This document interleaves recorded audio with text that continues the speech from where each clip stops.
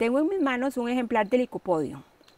Lycopodium es una especie perteneciente a la clase Lycopodiopsida. Hay varios géneros en esta clase. Además del Lycopodium encontramos Elaginela e Isoetes. ¿Cuál es la característica fundamental? Es una planta pequeña, alcanza poco tamaño, eh, generalmente rastrera. Las hojitas, llamadas micrófilas, se distribuyen helicoidalmente alrededor del tallo. Son hojas muy delgaditas.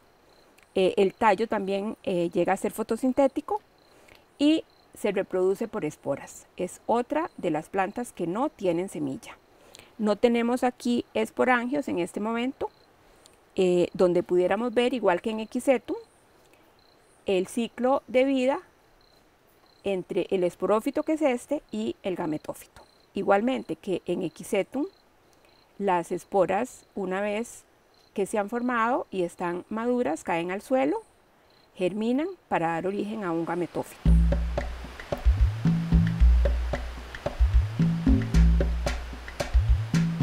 Esta planta recibe el nombre de celaginela. Pertenece a la clase Lycopodiopsida. Es una planta que no posee semillas también, sino que la reproducción la hace por esporas. Es muy característica, asemeja un helecho y se le llama vulgarmente helecho azul. Tiene eh, las hojitas aplanadas, igualmente sus órganos son bastante sencillos, tiene órganos definidos, pero bastante sencillos en estructura. Una raíz, el tallo, y las hojas, que son las estructuras fotosintéticas. La reproducción la realiza a través de esporangios que se forman en los ápices de las ramitas.